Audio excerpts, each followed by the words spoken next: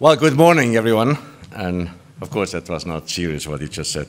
And welcome to our annual St. Gallen Symposium, now in its 42nd year. Given the fast pace of change we all can observe around us, we have to look at this globalized world and the constantly new challenges it is posing to us with a fresh perspective and find new answers every year. This is, of course, what universities and this university dedicated to educate the future elite in business, politics, and society in particular is all about. To constantly question the status quo and look for ever better answers and solutions to the challenges of our times. This symposium is striving to live up to these high standards every year with high caliber speakers and substantial debates attuned to the pulse of the times and the demands of the future. I therefore call upon you to make the best use of the next two days, to involve yourselves productively in the debates, and to openly express your opinion. The program offers, in my view, many, many opportunities to do so. The title of this year's symposium, as we heard, is Facing Risk.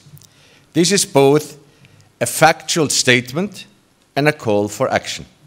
Risks are part of our professional and private lives and manifest themselves everywhere around us in continuously changing new forms. Being able to recognize those risks and to take appropriate preventive action, mitigate them, or indeed take advantage of them is the prerequisite for success.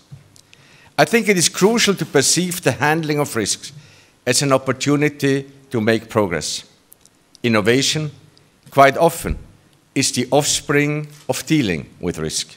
And if you look at the problems and challenges of our times, you will surely agree with me that we have to deal with significant risk for which we have find and to find new solutions.